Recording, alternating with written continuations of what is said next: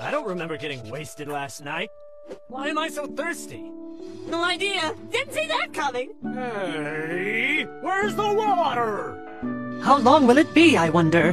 Don't worry, just about three or four days. After that, without water, a human will die.